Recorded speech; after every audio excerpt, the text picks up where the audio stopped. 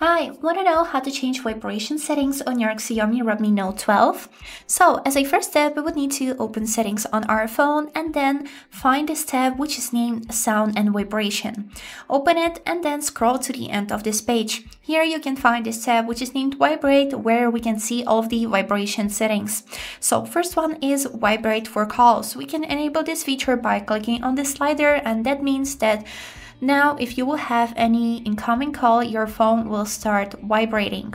Next thing is that we got here vibrate in silent mode. Silent mode is usually disabling all of these system sounds, but vibration is not a sound. So theoretically, we can keep it turned on. And last thing here is vibrate on tap. Here we got options light, medium, strong, and turn off. You can change the intensity if you would like to, or you can disable this feature at all. And this is it. I hope this video was helpful and thank you for watching.